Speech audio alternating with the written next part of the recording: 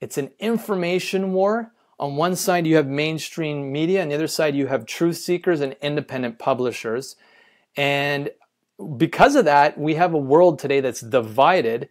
And if you want to get some sanity in terms of you know what is actually real, because a lot of people are asking themselves that, what's actually real, we have to follow the money to find the truth.